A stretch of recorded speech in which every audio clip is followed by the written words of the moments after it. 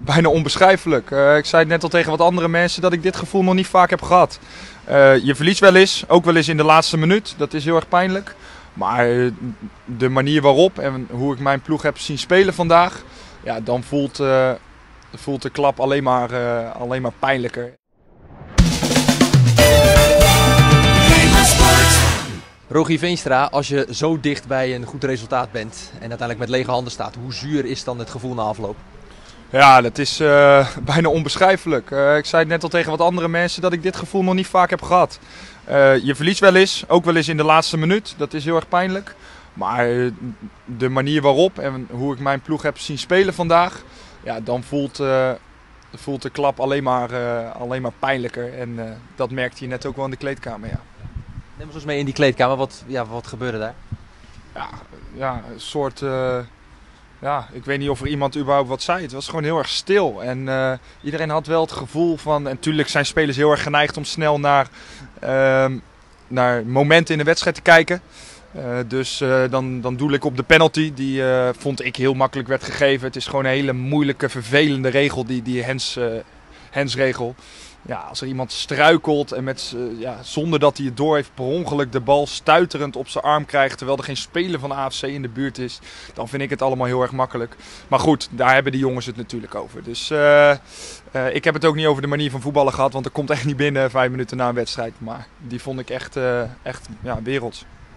Kan ons dus meenemen inderdaad in die wedstrijd ook, hè? want je zegt ja, ik vond het de, ja, hoe we voetbalden werelds. Ik eh, denk dat je uiteindelijk hier gewoon onterecht met lege handen staat. Hè? Maar waar ben je het meest tevreden over? Nou, dat we dus uh, uh, dat we goed kunnen voetballen, weten we. Dat is al een paar weken is dat redelijk op orde. En soms een half uur en soms een helft en soms een uur. Uh, alleen nog niet op orde tegen dit soort ploegen. En dat was voor onze uitdaging. Je zag het ook in de voorbeschouwingen. dit was de nummer 1 tegen de nummer 2, maar dat werd eigenlijk nergens zo benoemd. En dat was voor ons en voor mij wel een hele grote uitdaging om, om eigenlijk vanaf de zijkant te bekijken, kunnen mijn spelers tegen zo'n ploeg ook het verschil maken aan de bal en in het druk zetten? Ja, en het antwoord was ja. En dat was niet 10 minuten zo en ook niet 20 minuten zo. Dat was misschien wel 70 minuten het geval uh, in verschillende fases. En uh, we hebben ook goede doelpunten gemaakt en uh, veel energie erin gelegd. We zijn fit, dat weten we, maar we kunnen ook heel goed voetballen. En dat was voor mij de bevestiging die ik nog wel nodig had. Want dat hebben we niet vaak tegen dit soort ploegen laten zien. En dan zie je ook dat je tegen een ploeg die op voorhand zegt dat ze kampioen moeten worden, dat je het gewoon ja, dusdanig lastig kan maken dat je je onterecht verliest.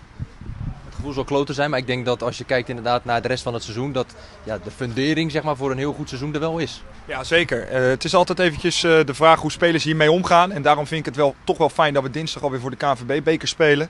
Dus er is geen tijd om te rouwen.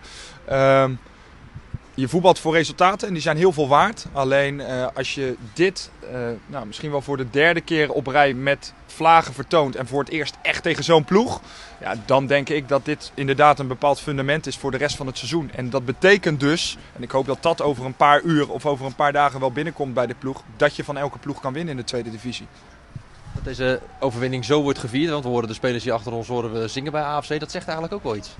Ja, uh, ik had het zelf persoonlijk niet zo gedaan als je zo'n wedstrijd hebt gespeeld. Maar goed, uh, uh, misschien is dat ook een compliment voor ons. En ik heb ook heel veel spelers gehoord na afloop, ook persoonlijk naar mij, ja, hoe wij voetballen. En dat hadden ze niet verwacht na vorig jaar. En dat is echt een groot compliment voor die gasten. En je hebt er helemaal niks aan, want voetbal draait om winnen. Zeker op dit niveau en zeker als je bij ASWH in de tweede divisie speelt. Maar dan nog uh, denk ik dat als ik over uh, ja, deze wedstrijd terugdenk, dat er toch wel een klein glimlachje komt. En uh, ja, nogmaals heel vervelend, maar geweldige voetbal.